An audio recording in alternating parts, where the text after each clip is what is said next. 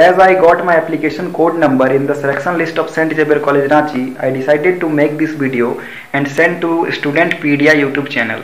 As he has said in his previous video, if anyone want to share his experience or want to say what type of question were asked in this year 2022, he can do. So I will send this video to him and I will uh, say you all what type of question were asked in this year and questions were from which book. So first of all I want to show you all in which subject I got selection.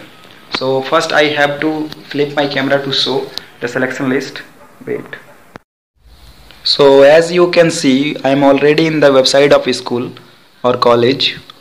So I have to find my subject first. My subjects were English and history so let them find first so here is the English but the problem is this the selection list of English has not released yet so I have to move further and find history. So here is the history. I, I have to download it.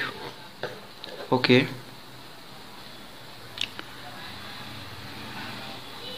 And in this PDF I can easily find my application roll code or code number that is 00200 wait I am I will show you my admit card also.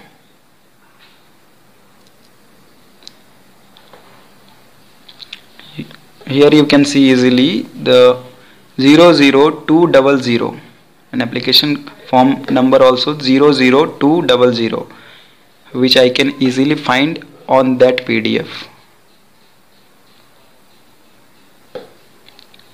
see 00200 so now I will say from which book I did study.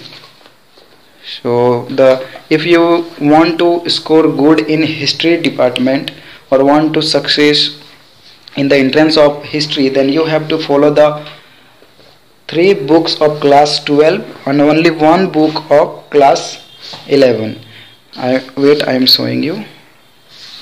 These are the books of history of class 12 part 1 part 2 and part 3 these three books you have to follow if you want to achieve good marks in the entrance exam. And only one book from the class 11 from these books the question were asked in the entrance exam of St. Xavier College Ranchi in this year. So thank you